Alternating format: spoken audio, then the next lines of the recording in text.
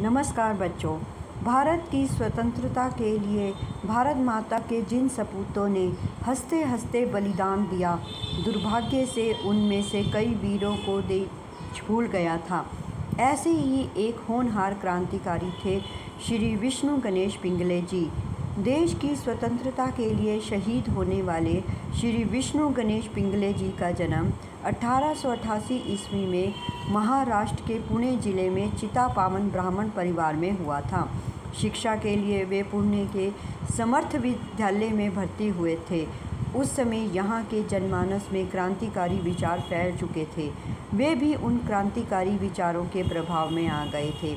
1910 में जब विद्यालय के संचालक के राजनीतिक विचारों के कारण सरकार ने उस विद्यालय को बंद कर दिया तो 1911 में पिंगले जी उच्च तकनीकी शिक्षा प्राप्त करने के लिए अमेरिका चले गए।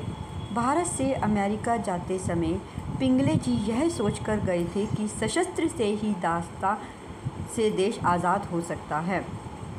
वे अमेरिका में गदर पार्टी के संस्थापक श्री लाला हरदयाल जी के संपर्क में आए।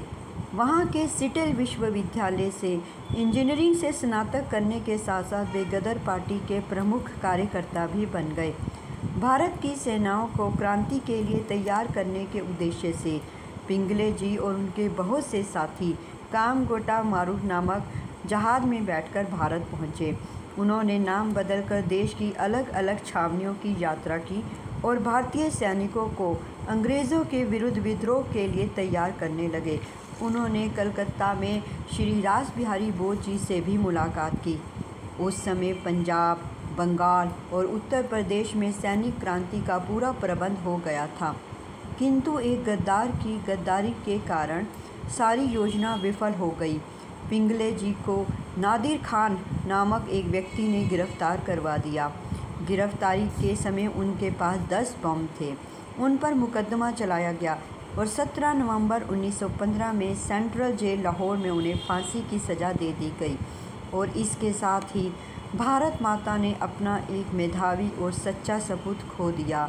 लेकिन इतनी कम उम्र में भी वे अपनी अमिट छाप इस देश के इतिहास पर छोड़ गए धन्यवाद।